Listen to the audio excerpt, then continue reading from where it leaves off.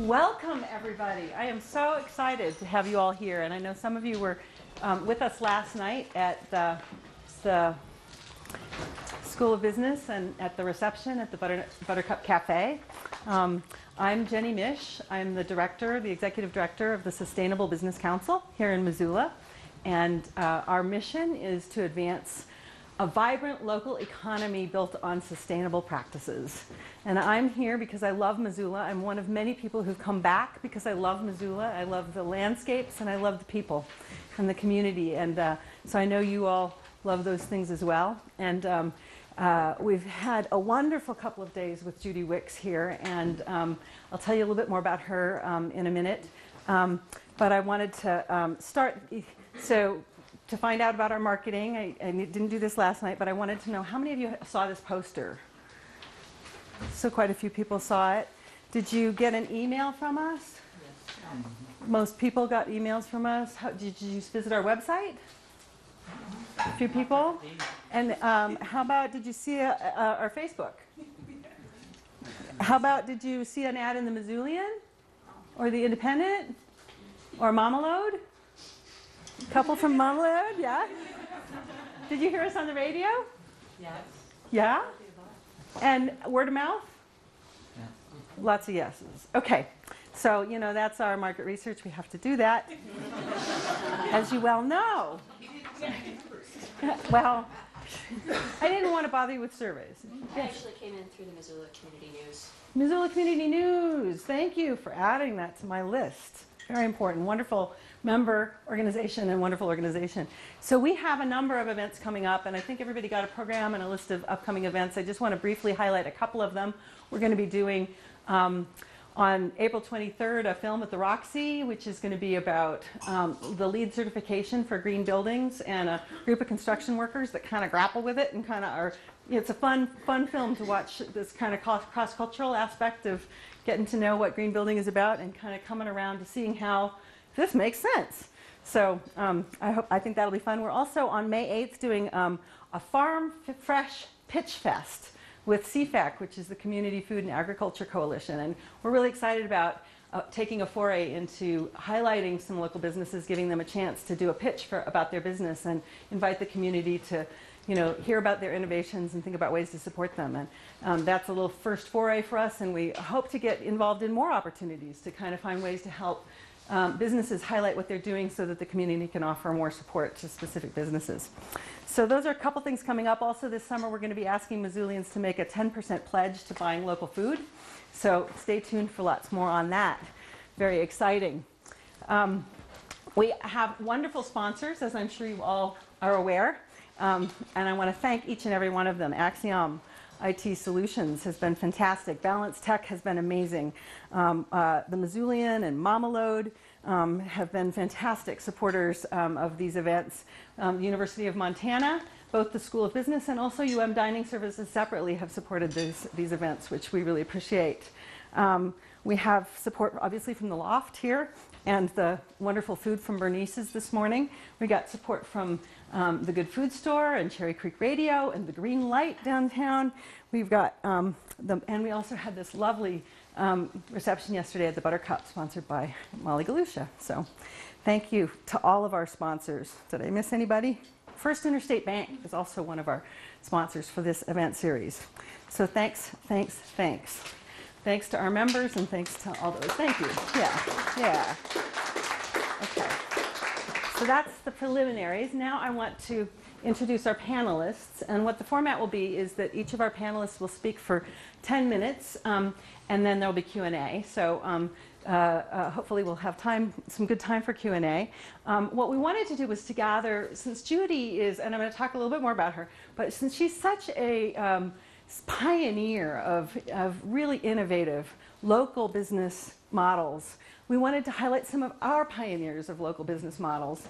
So we have invited um, three um, uh, businesses, business owners who, who have done really innovative things, and we hope that they'll share some of that. And we're just going to get glimpses. Um, Mark Vandermeer um, is here from Bad Goat Forest Products, and um, we've got Carolyn Lopatka of Recreate Designs, and also of the Ma- Made Fair that many of us are familiar with. And we have Paul Gladen, whose business is Muse View, and he, um, which is a, a I'll explain it. Okay. He's good at that. And who, who you probably are also familiar is the new director of the Launchpad Initiative, which he's going to speak a little bit about um, as well. So now I get to tell about our special guest, Judy Wicks, who many of you have um, heard a little bit about. And um, if you had um, seen her talk last night, um, you would know that she uh, founded the Free People's Store, which became Urban Out- Outfitters, which is a really interesting story. And she's best known for her cafe, the White Dog Cafe in Philadelphia, um, where um, the Inc. magazine said that she implemented um, more progressive business practices per square foot than any other entrepreneur. They called her one of their 25 most fascinating entrepreneurs, and she tells great stories about this. So today you're just going to get some little snippets, but um, her talk last night will eventually be on YouTube, and you can also read all, about it in her new book, which is um, Good Morning Beautiful Business. So um, uh, she'll be available signing that afterwards.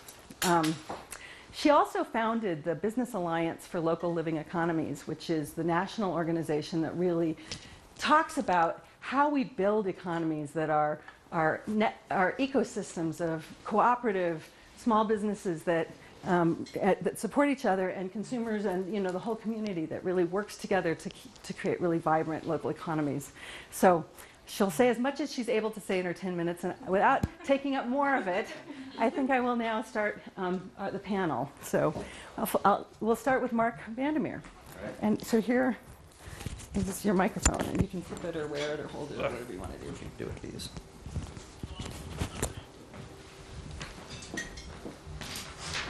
I'm gonna stand over here.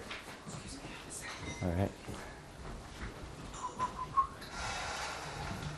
Nice.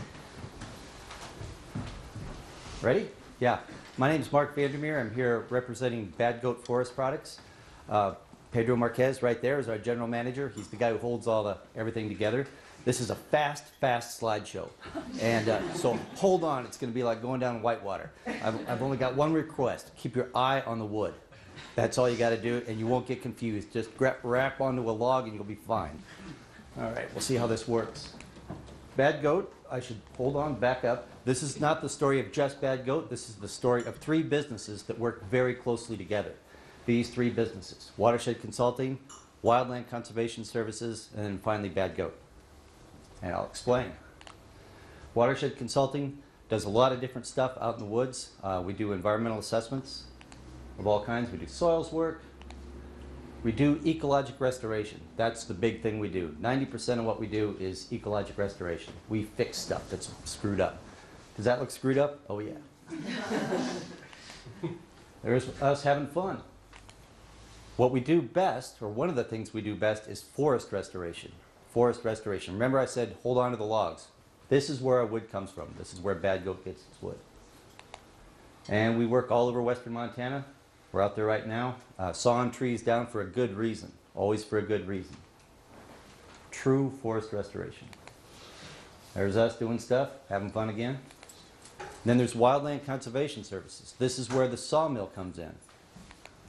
We also have a native plant nursery, but you don't need to know that. There it is, pretty. That's the sawmill. This is where the action happens. Uh, this is under the Scott Street Bridge here in Missoula, the north side of the Scott Street Bridge. You've heard of the troll over there under the bridge? That's me. yeah. There's the, the mastermind behind the sawmill, our foreman, Dave Duran. There's the saw. Looks dangerous. It is. Product out of uh, nasty logs from forest restoration projects. A little bit of action down there at the mill. And we can take an ugly log and make it pretty. Yeah, that thing would have been in a, in a slash pile and burned up. We also uh, have four arborists on staff and we, uh, we use urban wood. If I could pay attention to one topic, I could make a living just on logging Missoula. That's it. More urban wood, good stuff, beautiful stuff. More urban wood. Big slabs. Great product. We dry stuff in the shade. We air dry everything. These, these things here take almost two years to dry. Now, Bad Goat Forest Products. How does this tie in? Bad Goat takes that wood, actually purchases that wood from the sawmill guys. And we sell sustainably harvested, locally grown wood. People want to know where their wood comes from these days, and uh, now you know where it comes from. It comes from forest restoration projects and from our urban forests.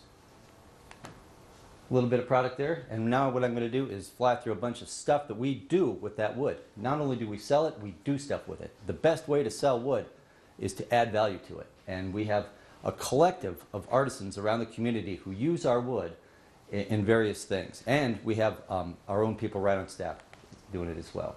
We like to design and build barns. We love timber framing. We like barns and saunas and sheds because they use lots of wood on one whack and we can build with green wood. And to be honest, uh, the wood we use is a, is, is a little bit hard to use because it comes from forest restoration projects. It's not the greatest, they're not the greatest trees on earth.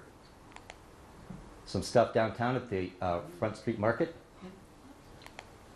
Look at that. That is nice stuff. I can't believe what these uh, artisans can do with this wood. Love timber framing. Barns, that's a nice one. Barn from the back. More sheds. You'll see our sheds all over the place. Sauna. Greenhouses. Love greenhouses. Greenhouse on the move. Chapel greenhouse. I call this the Church of Greenhouses. Uh, this is a forge up in the Swan Valley, Blacksmith Forge. We can put these timber frames in tight spots because uh, most of it's hand built. Outhouses. Need an outhouse? Uh, some cool joinery. You'll see this out at the Laughing Grizzly. We have lots of stuff all over town. You'll start to see our products in, in a whole bunch of different stores. Local brewery, this is their work table. It's got a steel front to it to really bang things around. Sturdy stuff. That's a tea table from uh, uh, Lake Missoula Tea Company. That's our workshop. Ha ha, that's our workshop when we clean it up. yeah. Oh yeah, there it is. There's our workshop when things are happening. Yeah, we've got sawdust everywhere. Uh, we do a little metal work. We built sidewalks. We make cool stuff. That was a rotten piece of log. Rotten, rotten, rotten. That thing sold for 1200 bucks. Some more stuff we build. We kick stuff out every day. We build picnic tables for the city. More stuff. Kitchens. Inspired classroom. Skateboards. Who would have thought? And here, Caleb Matthews, he gets the award for the most value added. Took 87 cents worth of wood and made 40 bucks. Pretty good. That's it.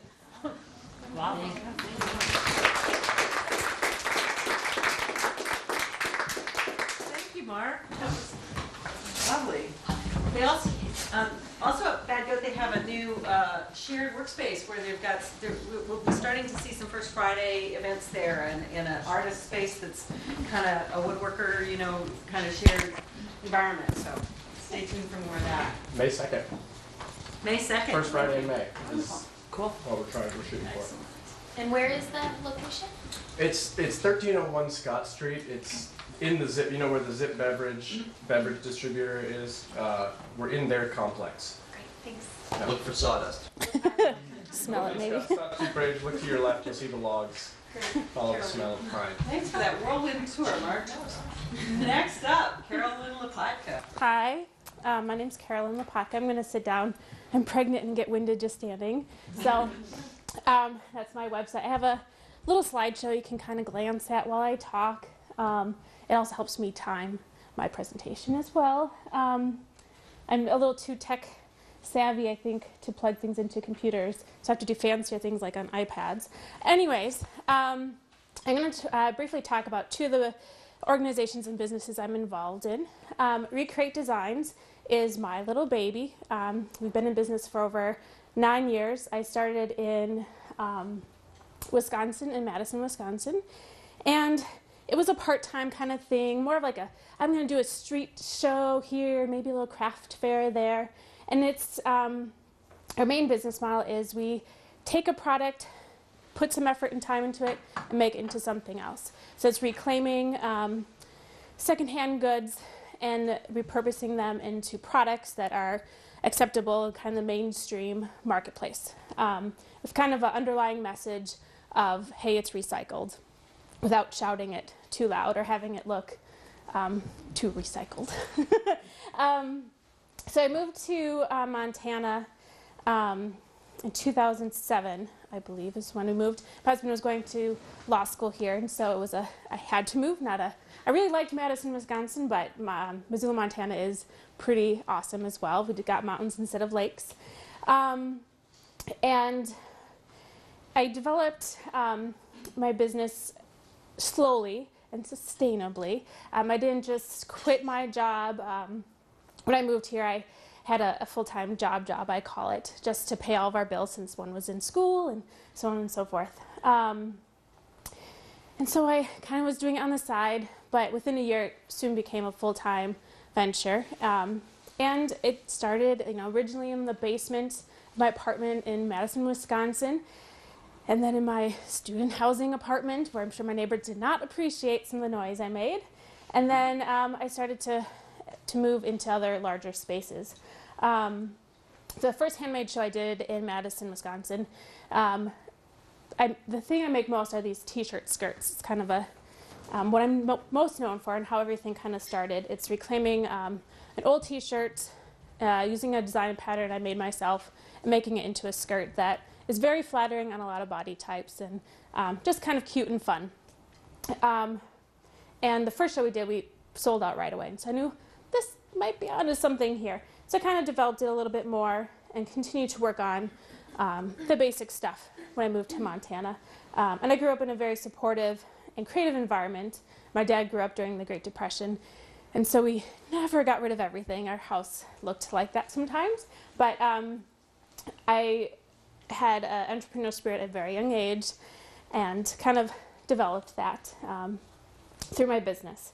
Um, the artist community in Missoula is amazing um, and very supportive. In Madison, I participated in like the farmers markets and that kind of thing, and it was it was great there. But here, it was overwhelming. And within a few months of living here, I, I knew that I could launch, um, have enough in the savings account, but I knew it would be a success. Um, from the beginning, we made a very conscious decision to reuse materials and upcycle everything. I could have taken my designs and patterns, bought bolts of fabric from wherever, made the same product, made things in China, and then had them shipped, and it'd be a lot easier because um, everything is one of a kind. So there are some struggles I go through to um, to make the products. Um, uh, we source the majority of our raw materials from local secondhand stores and upcycle them. We have an adult and children's clothing line, as well as books and bags and accessories. Um, started originally with adults, and then after I had my first child about four years ago, I couldn't find things that were cute but not ridiculous. Um, so it was a girl, and so I started making a couple of things um, after she was born and, and prior to her birth.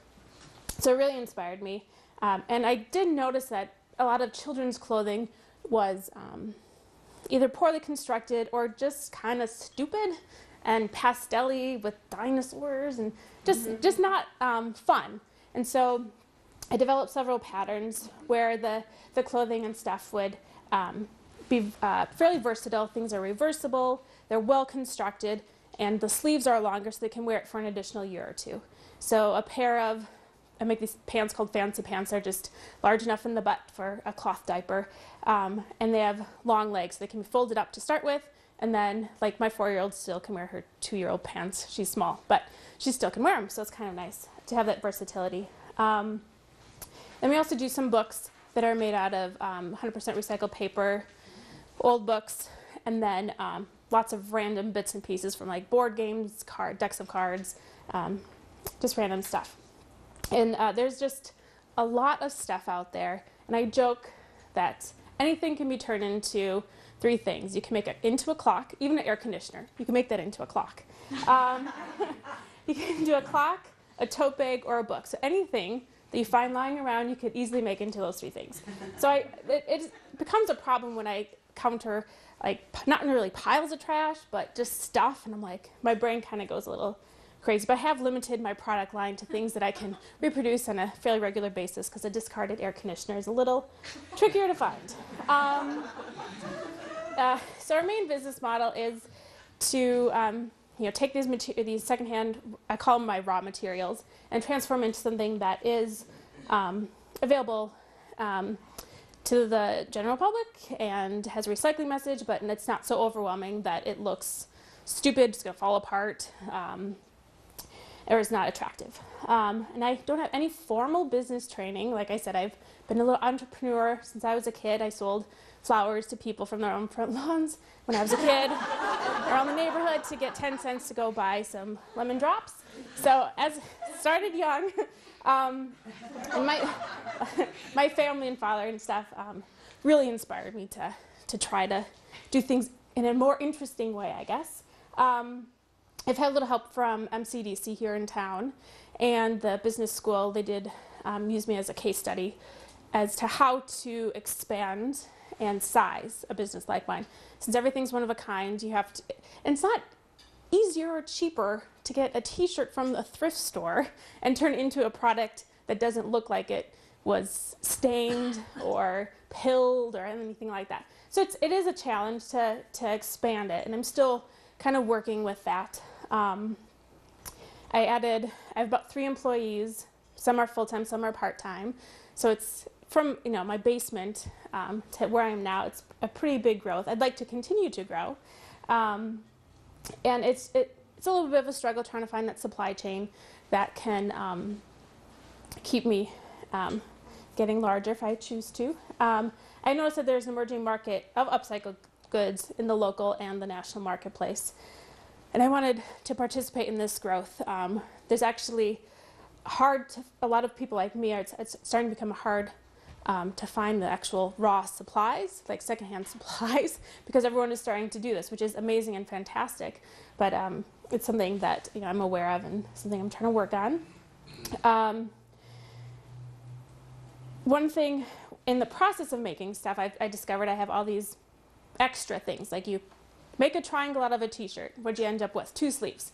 So you do this over and over and over again. Pretty soon you could have a whole room of sleeves. So I, um, last year I started designing some new products that would use six sleeves, so to help with the supply chain, and then um, or the material supply, and then anything else that's big enough, um, I give to someone else to use as rags and scraps. So I try to keep everything in process of moving to something else versus just going into a landfill. Um, I sell at the local people's market here in Missoula on Saturdays, and I have stuff on um, my website. Although that's really there's not a lot on there right now because I've um, it's hard when you have a lot going on. I try to focus on certain things. Last year was developing more wholesale accounts, and um, I have some consignment accounts. And this year is going to be developing the website. It's beautiful, but it, the if you actually look at the products, it's like, hey, here's a choice of skirt one or two. so this year is really focusing on that since I'm expecting another one. Um, I have to try to come up with some more things I can do from the home. Um, and this year um, we've applied and have been accepted, just had to finish the paperwork, to participate in 1% for the Planet program. Um, it's a, uh, it's a connects businesses, consumers, and nonprofits. Um, and I'm dedicating 1% of my sales, not my profit, my sales, um, to local nonprofits that do something that I don't have time to do, um, help out the environment, um, be advocates for things that I, I can't do myself. So I'm really excited about that. Um, and the next thing I'm going to talk about, because my thing stopped telling me that I should stop talking about that, um, is the Made Fair. And this is my little baby as well. Um, make sure my music doesn't start playing. Um, so the Made Fair, it's an alternative arts. Oh, sorry about that. yes, let's listen to that music. Um.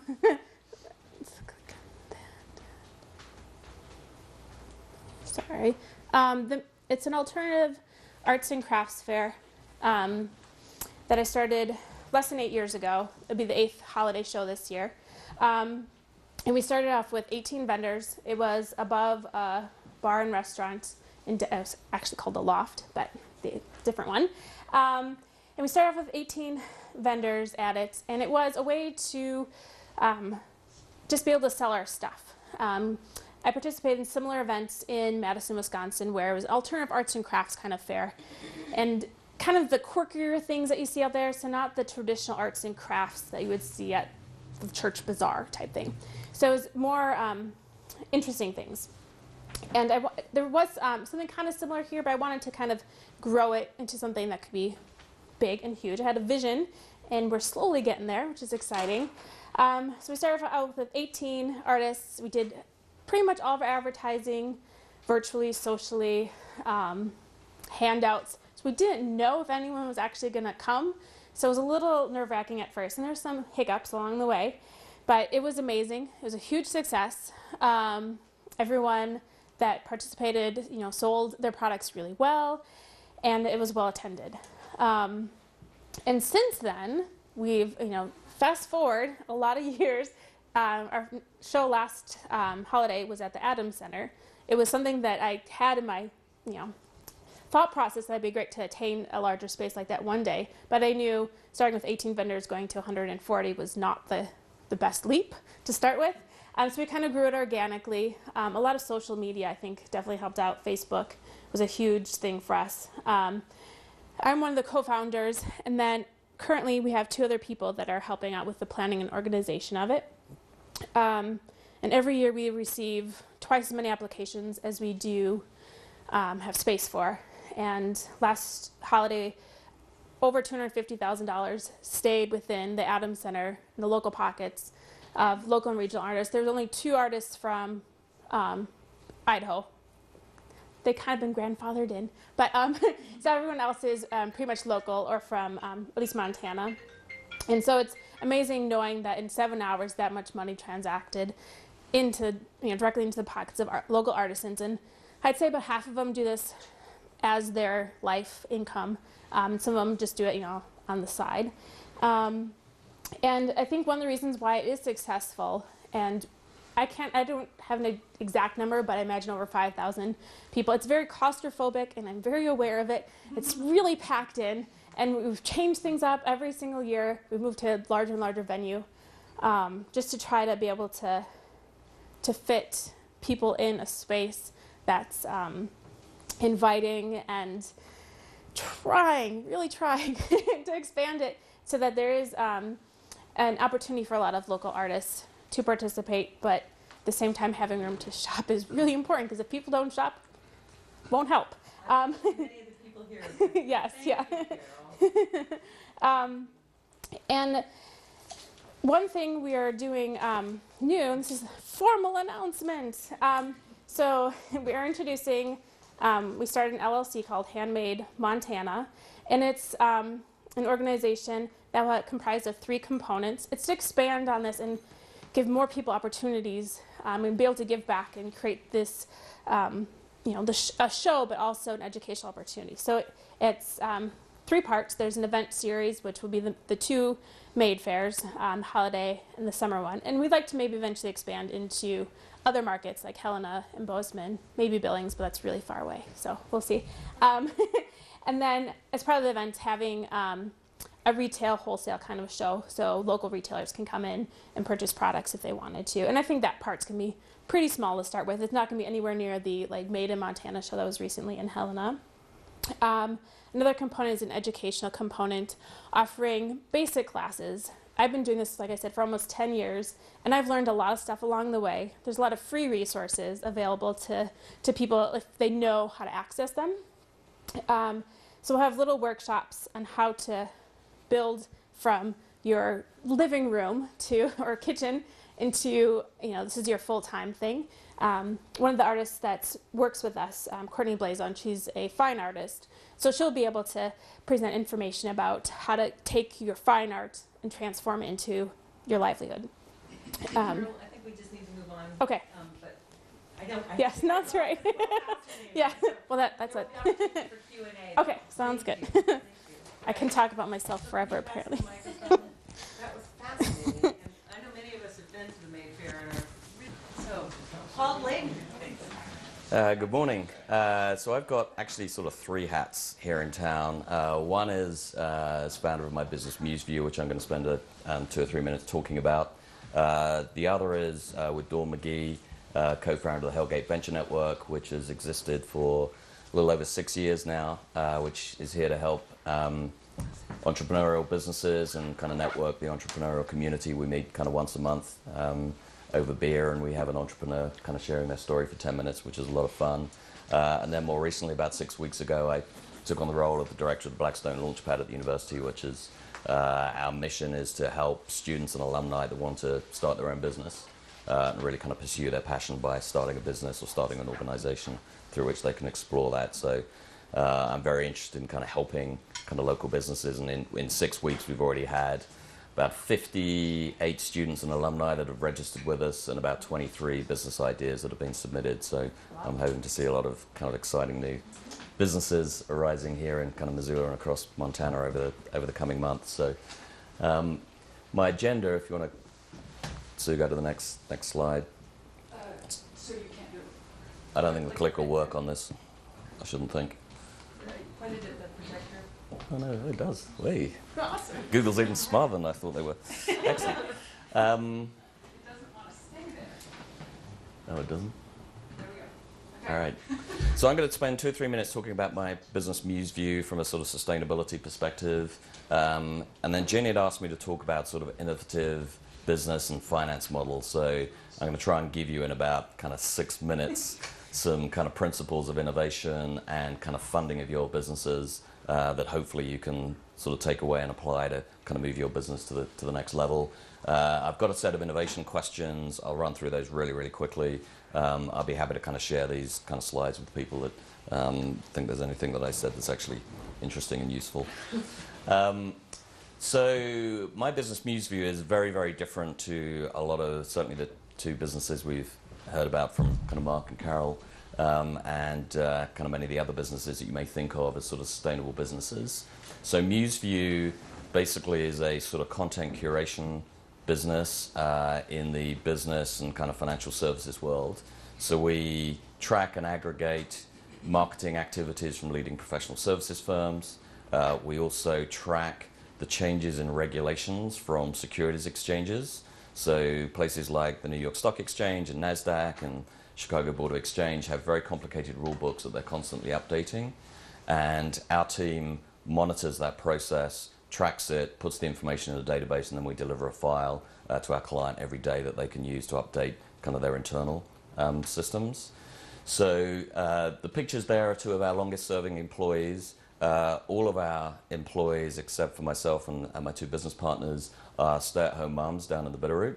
Um, Marcy was giving me uh, grief last night for not saying we also would employ stay at home dads, and we did actually have one for about two years, uh, and we're certainly open to employing stay at home dads. Um, but our, our stay at home moms, um, I mean, it's, it's remarkable to me that we've got sort of high powered financial executives and lawyers and um, partners in CPA firms that are relying on information that's essentially kind of processed um, by stay at home mums in the Bitterroot who, frankly, and, and self admittedly, would say they don't necessarily know a heck of a lot about financial services regulation or kind of legal issues, but we've been able to develop a process that enables them to manage and organize that information effectively. So then when I looked last night at kind of all of the kind of the nine sustainable kind of business practices, I realized we're probably a highly kind of sustainable business because we have probably a close to zero um, carbon footprint um, because essentially all our employees work from home. Uh, so we have no transportation. All of our activities are online. Um, we have no facilities. Everyone works from home. We don't have a headquarters. Uh, we very rarely travel to meet with our clients. We do all of that by phone and email and sort of GoToMeeting type activities and sessions.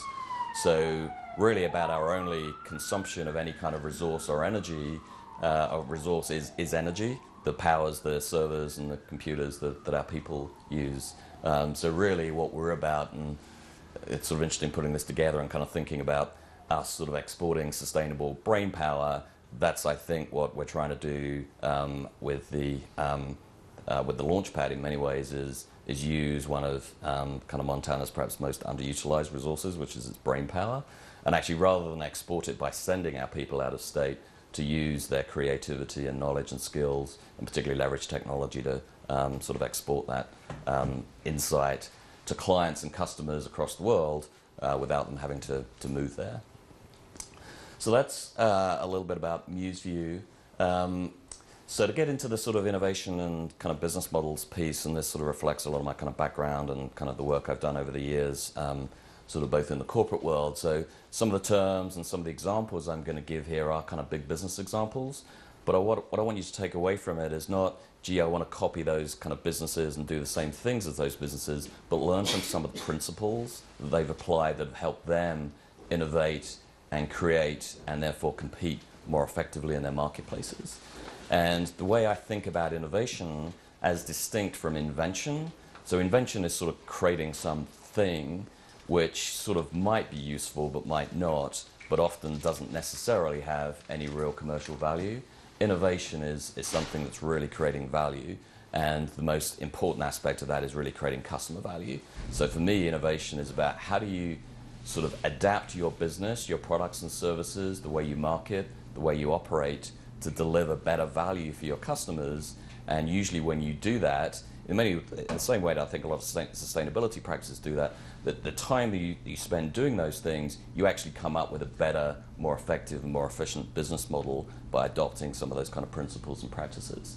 So, if you think about customer value, think about all of the things that customers take into their consideration of the products and services that they might buy from you. Now, I put brand at the top, which in many ways sort of correlates to, to value, but if you think about certain brands, you will have some association or some perception of them, good or bad, about what their products or services mean to you. And often it's an amalgam of these other things. So, price is obviously always important, but it's often not the most important um, piece. Uh, the quality of the products, the quality of the services, time can be a factor for people in terms of speed. Uh, convenience is a massive issue in today's uh, society. Quality of service, whether that's the service you provide or after sales service. Uh, sustainability, um, I, think the important thing, I think, in today's world is that sustainability is clearly a very valuable and very powerful um, kind of movement and concept. I don't think it necessarily is always going to be sufficient for you just to say, hey, we're sustainable, therefore you should buy our products and services. So you need to put it in the context of some of these other things. So are your products kind of highly usable? Is the design uh, great? What else are you doing in terms of flexibility and risk and choice and customization? I'm going to talk about some of those things, give you some quick examples in a minute. So think about what is it that your customers value and do as much as you can to align your products and your services and your operations to what customers value. So to give you a few examples, and I say these are mostly, although one or two are local examples, mostly kind of big, big corporation, big world examples, but I, I want you to kind of take away the principle that sits behind them. So Orange was um, is one of the, the, the, major kind of cell phone service providers in, in the UK and Europe. When they came into the market, they were the fourth mobile operator to enter the market, but they were the first operator to essentially flip the model for how you price mobile service. So when cell phone service was launched, because it was launched mostly by existing telephone companies, they used the same pricing model which says we're going to price you for minutes uh, and we're going to bill you at the end of the month. And when they did that and they charged kind of a dollar a minute or whatever it was to start with, um, people were like, well, I'm going to have to be very cautious about using my service because I'm going to end up with this kind of $100, $200 kind of bill by the end of the month. And they introduced the concept of uh, a fixed kind of bundle of minutes, which suddenly changed the dynamics because people now knew that they bought 100 minutes or 50 minutes or whatever it is, and they knew how much money they were going to be spending. So they'd removed the risk for customers of overspending because it was, it was a built in mechanism by which they would know uh, how much money they were spending. And actually, what Orange found when they put that in was actually their average revenue per minute went up because people were controlling themselves to stay below their kind of um, their minutes limit. So there are things you can do with pricing that can change the dynamics because it's not just about the cost; it's about certainty. And this is why, given I spend a lot of time in the legal world, this is why people mostly hate lawyers because they um, basically send bills at the end of the month which, which people had very little control over. And there's a lot of innovation going on in the legal world now around fixed price arrangements and value billing, which is starting to change that industry very slowly. Um, payment terms, uh, Virgin Mobile, at least in the UK, was the first cell phone operator um, to go with a pay as you go model, so the prepaid model, um, which means that you're paying up front, which again was about confidence um, on the part of the consumer, but also actually had far greater implications outside of um, kind of the UK and developed markets because it meant suddenly in undeveloped markets where people didn't have credit profiles and cell phone companies wouldn't want to give those customers a contract, they could actually provide cell phone service because people were paying up front. Um, and paying up front is something I'll, I'll come back to, is a phenomenally powerful way of changing your kind of business model. It can actually potentially add value, but it also tells you a heck of a lot about how much customers actually value your products and services. Uh, subscriptions, um, uh, the icon there is um, kind of Dollar Shave Club. Uh, I don't know how many of you heard about that, but that's essentially a subscription service for kind of razors uh, for shaving. I mean, just completely flipped the model for kind of shaving uh, gear and equipment. Uh, Amazon Prime, I don't know how many people here are Amazon Prime customers, but that kind of flat rate, okay, it's 70 bucks a year. I kind of get access to this kind of shipping, um, and it's um, I don't have to worry about kind of shipping costs beyond that, and I get kind of free free movies and things to watch. How am I doing time wise? It's been 11. That's been 11. Holy cow. Um, so let me talk uh, for a minute on innovative finance. So there's some other examples there I'll be happy to talk to you about kind of offline. I hear people talk about I can't get funding for my business, and I think often that's basically a crutch or an excuse for I haven't figured out how to get value to create value for my customers. So if you think about what funding does is it bridges the gap between customer payment and cost outlays. So innovation, I think, is the way in which you can try and shorten or reverse that gap by getting people to pay up front um, or by reducing the size of that gap by essentially enabling you to get customers to pay more because you've focused more on the value or by reducing your cost because you've eliminated, there are some other examples on the previous slide of things that you can take out of your uh, business processes because actually you're doing things that customers don't value or in some instances you're doing things that customers would actually rather do themselves. So let them do it so you don't incur the cost. And the best example, or a, great example of innovative finance, I think, is crowdfunding, which Market on Front, which Mark showed a kind of picture of earlier, um, and a couple of other businesses here in town have done, is basically sort of Kickstarter campaigns. That for me is a phenomenal way of getting money up front, but equally importantly, getting customer validation. If you have a Kickstarter campaign and nobody signs up, they probably don't like your products and services. If you're massively oversubscribed, people clearly love something that you're doing, and that's probably a pretty good indication. And you've got the money up front to work on that. So, um, sorry I went over, but uh, hopefully that was some help. There's a set of questions there. As I say, I'll be happy to share the slides. And, and Paul is available as a community resource, which is part of why we wanted to highlight him today. So thank you so much, Paul. That's great. Our last speaker, of course, is Judy Wicks. And uh,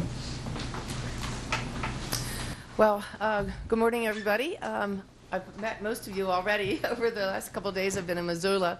I uh, really enjoyed my visit here, uh, and in particular, I really enjoyed um, seeing and hearing from um, the local business people. Um, really enjoyed the shops and uh, Buttercup uh, Market and Cafe, and uh, Mark and Paul and Carol and Carol Lynn's uh, businesses are really fascinating to me. Uh, so I talked almost an hour last night, and I know many of you were there, so I'm trying to think of some things that I didn't say last night. Uh, but when I started the White Dog um, in 1983, I had never heard of sustainability or fair trade or living wage or any of the things that the White Dog became known for eventually. Uh, I just wanted to have a, a, a, neighborhood cafe where my friends could gather and um, eat um, good food and have conversations. Uh, the first uh, vision I had about my cafe uh, were the curtains. I was imagining uh, blue and white checked uh, cafe curtains because to me that represented um, old fashioned hospitality. So I really built the cafe um, around those curtains in a sense, starting with that, um, that first vision uh, one of the things I did know I wanted to do was to buy from local farms. And at that point, the local food movement had not started. So it wasn't like I was trying to start a movement or I was trying to join a movement or anything else. Uh, I had uh, managed a, um, French restaurant for 10 years, and I was just sick of all those heavy cream sauces and imported ingredients, you know, Dover sole and all this stuff, escargot. Um, and I wanted to have food that I enjoyed when I was growing up. I wanted to uh, have a menu put on my menu um, Nana's strawberry pie, which was my favorite pie that my grandmother made, and I wanted Betty shish kebabs, which was my mother's fav- favorite uh, dish.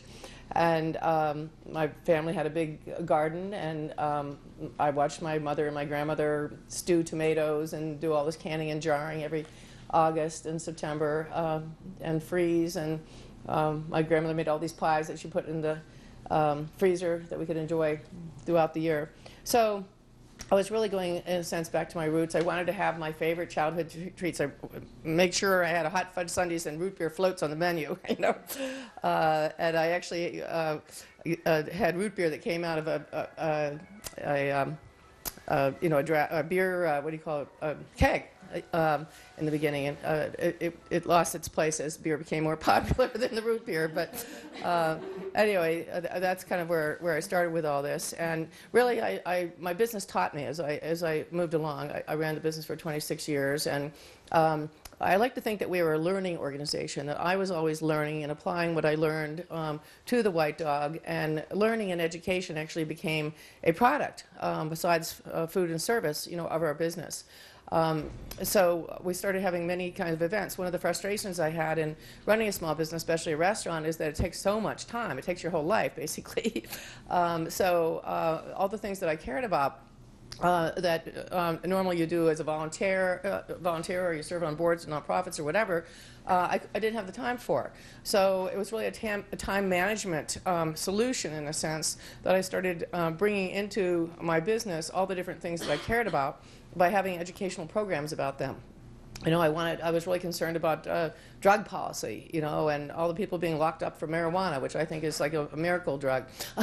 so, uh, you know, I started having pro- programs on um, on um, drug policy and inviting uh, Ethan Nadelmann, uh, you know, to come and speak. And luckily, Philadelphia is very close to New York and D.C., so I had access to a lot of speakers. So all the things I wanted to ed- be educated about and wanted my customers, my staff to know about, I brought into the cafe through all these different events that I went into more detail about in my talk last night.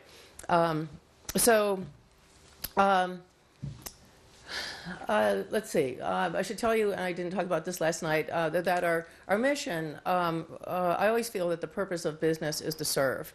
So our, our mission was to serve fully in four areas serving our customers, of course, serving our employees, serving our community, and serving nature. So um, when I would make a decision, I wouldn't make a decision based on how much money is this going to make, although that was a factor. Uh, but uh, how will this serve these four constituencies? Um, and it was more for me about maximizing relationships as opposed to maximizing profits. And I think that's what made it a healthy business because uh, I think financial, when you maximize those relationships, you know, with your customers, with your staff, with your community, and with nature, um, then, you know, to, to a large extent, uh, uh, you know, profitability follows. Um, but I don't want to say that I did not. Someone was pointing out uh, today that I have a good business head, and that's that's true. I, I, I, think it's a kind of a, nat- a natural thing. Um, I, you know, I, I, would make a commitment to, for instance, um, give away a certain percentage of my profits uh, to nonprofits. And during the year, I was always writing checks and thinking I'm going to give them money, them, and at the at the end, I'd ask my bookkeeper, well, where am I on, you know, uh, in terms of percentage of of uh, profit, and I would get it almost exactly right, just intuitively. I could sense like how we were doing and how much I was giving away, and so on. Uh, I don't know exactly what you call that, but but I think intuition. Um, is a really important part of the way I ran my business. Um, and um, in my book, I talk about uh, two uh, contradictory uh, yet simultaneous energies uh, that I called um, Will and Grace, not like the TV show. Uh, uh, but um, I, I, compare it to whitewater canoeing. Um, that uh, grace is kind of a surrender, um, knowing that um, you don't know everything, uh, and that there's power is much greater than yourself in the, in the universe. is kind of a spiritual thing, and that you surrender uh, to to the greater power to uh, and your your oneness uh, with the world. And so when you're whitewater canoeing, it's sort of like um, being in the in the flow. You know, uh, your your canoe or whatever is is, is in the flow. Uh, on the other hand, uh, you know, you could go right over a waterfall, you know, or whatever. Uh, you have to have will. Uh, you, you're a human being. Not only are you uh, at- at one with the world, but you also are an individual who has a, has choice, uh, to, choices to make. And so you use your paddle to um, um, to make decisions, to influence your, your journey, to get to the shore, to, to, to you know. So it's these two uh, simultaneous um, energies of surrender and taking action at, uh, at the same time, in a sense. Um, and you can see sometimes I see people in my life they're too much about will, you know, too much figuring like they know it all, they're going to do it this way, it's all in their head, and so on. Uh, and other people, they're too much about grace. They're kind of like floating down the river, you know, when they're uh, waiting for things to happen to them, you know.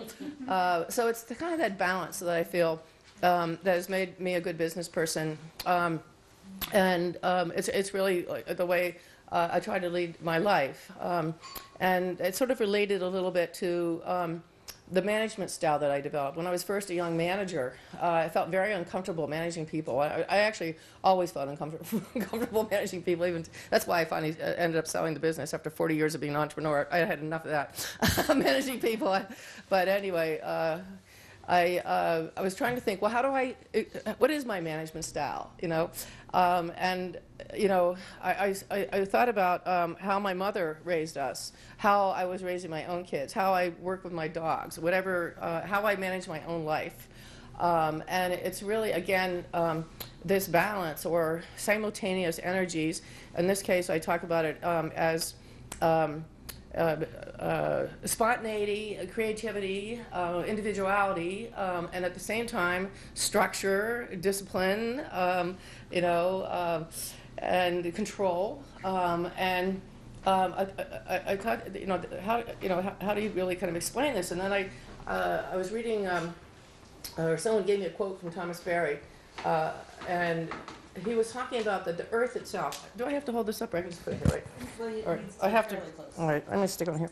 Um, so that the Earth itself um, is in this balance. That the forces that are kind of ex- um, exploding from Earth are going out. And this is the the kind of um, spontaneity and so on. And then there's the force of gravity. That's the control um, and the structure that's holding those forces at bay. Uh, and if either force is is, is too much, uh, the Earth would either explode because there's too much uh, spontaneity and whatnot, or implode because there's too much structure. And Earth is, is perfectly balanced. And it, at that point of balance is where uh, life on Earth is. It's where creativity lies. So when I thought of uh, how my mother's classroom was always the noisiest classroom in the elementary school, um, it was because she was operating at that point of balance. Um, she was allowing as much freedom as possible uh, within the constraints of the classroom. Um, and that's where uh, the most creativity was allowed to happen. And so I feel like that's what I try to do in my business. Uh, I try to give as much freedom to my employees as I possibly could uh, within the, the confines and the control, um, uh, you know, of, uh, of the business. Um, you know, we had written job descriptions. Uh, that was their job. But if they wanted to change that job, uh, please. The job descriptions are, uh, you know, ongoing uh, process, and let me know how you would like to change your job description. Um, so it's that balance, and I feel like it's also the balance of how we lead our lives. Um, that we, you know, to uh, be creative, be spontaneous, and whatnot, uh, but also to structure our our energies um, into uh, a productive uh, process. Um, so I, I thought I would just share that with you. Uh, did I run out of time already? Or, You're Uh, about well, I, I don't, you know, I, I, I don't really have to say anything more because I, We have Q&A, so people yeah, yeah. questions. So, uh, yeah. Why don't, why don't, oh, there's one other thing I did, I did want to say in terms of the, the mission of service that uh, every year um, uh, to, to to look at how we had done in those four areas of service, uh, you know, uh, customers, employees, um, community, and uh, nature. I I had um, what I call the anniversary howl, like this kind of howl. Ooh! so we would close the restaurant uh, one night, uh, usually a Sunday night, uh, slowest after the first seating, um, and have a have an event just for the employees. Um, and um, I would have a, I would give a state of the dog address, you know, and uh, a open book management show what our profit and loss was, how I, how I used the profit, um, and many other things. We give awards, you know, the Silver Bone Award, blah blah blah. Um, but we also talked about um, how we had accomplished our mission, and, and I would use that as a, um, um, a, a goal in a sense that during the year. Uh, I wanted to be able to announce at the how one more thing that we were doing to serve our employees, for instance. Um, sometimes it would be increasing benefits for uh, tipped employees, and most restaurants, no, no tipped employees get benefits. Um, and so every year I would give a little bit more uh, benefits, you know, to our tipped employees. Uh, or I realized that so many of our um, employees were, didn't have computers. So we would loan, loan the, the money for their first computer and then they would, would pay back from. Anyway, that kind of stuff. And so it was just like a, a time of the year, you know, and I wanted to be able to announce uh, every year at the How and also on our Green Dog Day, which is open to our customers, uh, one more um, sustainable practice uh, that we had developed during that year, whether it's putting solar um, hot water panels on the roof or starting a communal uh, compost or whatever. Um, anyway, I'll stop there you know, for questions and so on. Okay. Well, thank you so much to each of our panelists, and I just wanted to say thanks again to Judy. Um, for those of you who missed her talk um, last night, it will be on uh, MCAT and on YouTube eventually. Thank you so much to MCAT for um, filming these events. And her book also tells the stories, uh, many more stories like the ones she, you've just been hearing. So um, I know a number of you heard, heard her talk last night. Thank you, Mark and Carol Lynn and Paul, Paul, Paul. I'm trying to learn how to say it in the British way. um, what questions do you have for our for our guests? What would you like to know? Pat. And please pass the mic to whoever is going to. So I I was interested in, in the idea of growth. And growth and sustainability sort of are opposite ends of the spectrum. But Carolyn, you said you wanted to know how to grow, you were, the business school helps you figure that out. How, do, how does an entrepreneur in a, in a sustainable business view growth philosophically? Who would you like to address that? Well, Carolyn's the one who's said it, but I'd love to hear an answer from anybody. Thanks, Pat. Who would like to take that on? Carolyn, do you want to address it, or will you pass the mic? You can just hold it. Um, so, to rephrase the question, I'm supposed to do that first, right? Or Yes. say it again. um, how do I philosophically kind of believe about growth and sustainability and how the two can be happen in a business? Um, I think it's hard to to grow and maintain that sustainability um, and figure out what the steps necessary are to kind of hold on to the original intent of the business, which mine was fully sustainable and, and uh, a green business focus. Um, it's just always kind of coming back around to that when thinking of any changes um, in the business structure and in production and um, not exactly sure. I'm still learning it.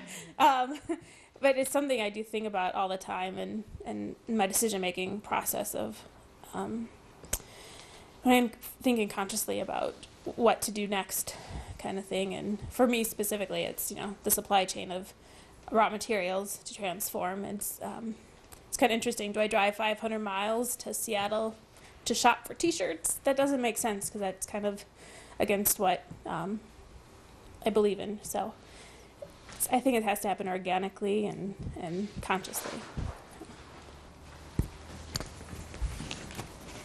Yeah, I think what you said at the end there about growing organically, it should be growth because sort of the, the market wants to see that growth because you're delivering, as I talked about, delivering value to, to customers. It's the where it goes wrong is the growth for growth's sake, as Judy was saying last night, in kind of the, the investment world. That sort of once you're beholden to the stock markets, you're expected to grow year in year out and find new ways to try and grow and to cut costs out because it's for the investors' benefit, not for the um, and, I, and I think, I mean, sustainability is an interesting term. I mean, it has these meanings in terms of sort of using kind of resources kind of effectively and uh, kind of being local and things like that. But I think it's also about building a business that is sustainable, i.e., that it's going to be around for a long time because it continues to deliver value. And I think there's a lot of businesses that have grown too fast um, without thought for that, and they've kind of failed ultimately because of that. So I think um, you pursue growth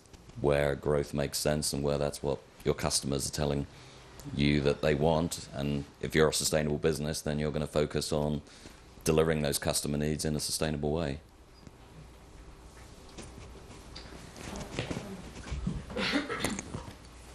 I uh, just wanted to add a, a little bit to that. Um, uh, one of the things that I thought about once I, I grew very quickly um, in the first five years, and you know uh, I think you have to grow to a financially sus- sustainable point as well. You know, um, and I think uh, most of the businesses in this room are probably still growing and still need to grow, um, and it's good for the community to grow. Um, but um, at some point, uh, for me, uh, when I realized I was financially sustainable and I didn't have to grow any larger in terms of my footprint and so on, uh, I thought about uh, the idea of, of um, spreading our models as opposed to spreading our brands. Um, so I started teaching about the model of the white dog in other communities. I, I wasn't trying to start white dogs in other people's communities, um, but I was willing to share my model. And I think one of the beauties of the local economy movement is that, for the most part, we're not competing uh, in the national marketplace. Um, so if we come up with a, a good model uh, that works in our community of food processing business or you know whatever, um, we can share that model with somebody in another city because we're not competing on, in the national marketplace in that way. Um, so that's one of the things that BALLE does is to help uh, you know spread these models. Um, but I, I was also I, I wanted to hear from you, Mark, because I'm very fascinated by your business and how you have those different aspects of your business with the sawmill and so on. And, and, and to me, one of the ways to grow is to look to see what is it that my community needs that might be related uh, to my business. You know, um, uh, there's a really great model of, the, of growth in um, um, uh, Ann Arbor, uh, a deli called Zingerman's, a very famous deli. Instead of doing a national chain of delis, they look to see what does my uh, community need. Uh, well, they didn't have a creamery, so they started a creamery uh, to make ice cream and cheeses. Uh, their community didn't have a fair trade roast coffee roasting company, so they started a coffee roasting company. Um, they were all uh, businesses that related to their own business, um, and um, many more. I think they have 12 different businesses, and, and plus they were able to make um, their best employees owners, you know, in, in those new businesses. So they have a family of businesses uh, with many owners, uh, a team of, of owners. And I think that's a great model. And I was thinking of that when I was hearing about your business. I'd like to hear a bit more about the way that you grew. Oh, well, we, we started out, I started out with a 65 Ford F-250 and a chainsaw. Um, s- I've still got them both, and uh, they both run very well. Um, I I think we're all kind of saying the same thing. You've got to be organic, and you've got to only grow as the services are needed by your community. Right. And and that's that's how we did it. Um, we don't we didn't get any big loans or anything else. Um, so we just grew organically as folks wanted our services. We moved into those places, and and that's all there was to it. So now we're running about 14 folks when we're at full tilt, um, and it's uh, and we don't have to worry about that. Um, that that uh, division between sustainability and growth because we're founded in uh, what you might call sustainability, even though that word's getting a little fuzzy these days. Um, so we don't have to worry about that, and our growth is slow enough that we don't uh, we don't really worry about it either. We've been around for 20 something years, so it's been slow, and that's the way to do it. Um, I feel that a lot of folks get a big chunk of money, um, grant or loan, and that's that's uh, they're dangling just enough carrot to get you into trouble. And so, so growing organically has been uh, a real safe way to do it. Um, I just want to acknowledge that this event was supposed to end at 9:30, so I'm going to take one more question um, and invite people to linger and talk with our guests. Um, We have so much innovation in this community. Would you like to? Yeah, just I wanted to touch on that sustainability, the fuzziness of sustainability question, and you know, people talk about greenwashing, and where do you all see the term sustainability? Sometimes we talk at Bad Goat about, oh, let's just keep that word out of all of our marketing materials if we're done with it. Is there a sense out there with you guys that are, are we beyond that term? Is that term almost becoming detrimental to use or overplayed and losing its meaning? Yeah, I mean, I think it's the comment I made sort of about sustainability and that set of kind of customer value that it's it's difficult uh, increasingly, I think, for you to differentiate on that because the term has become so so kind of fuzzy and so overused that just saying it, um, I think people are going to start to kind of glaze over. So you've really got to be um, when it's when the definition is fuzzy, you need to be clear about what your definition is um, and make sure that that's the definition you're comfortable with, and those are the values that your customers and your employees and your community value. So I think I think you're absolutely right. You can't just say sustainability or say some other word that you think sort of means the same thing. You need to be clear about what it is. And um, I mean, I think your philosophy of sort of transparency in the business and open book management. I think that's I think most good sustainable businesses are very transparent uh, about how they operate and kind of what they do. So I think that's probably your best way to pursue it in, in the face of what I think is a, a clear issue and challenge. I think for um, my business stuff, it's always been um, it's not the focus, it's the um, kind of an end result, I guess, is making products and having um, like the Made Fair having it be a local show and having it be able to stand on its own, and then people finding out that it is a sustainable green business supporting the local economy is an added bonus. Um, and because, yeah, it's definitely green business, sustainable, all those words are kind of definitely be being used uh, a little too much, um, even if a company isn't that themselves, I guess. Yeah, not much I can add to that. Uh, Uh, well, well, only that, I mean, I, I've not thought of a better word is the only problem. And, uh, you know, I, I like to think of sustainability as being really uh, uh, in three ways. Um, uh, you know, environmentally sustainable, but also socially sustainable, uh, as well as financially sustainable.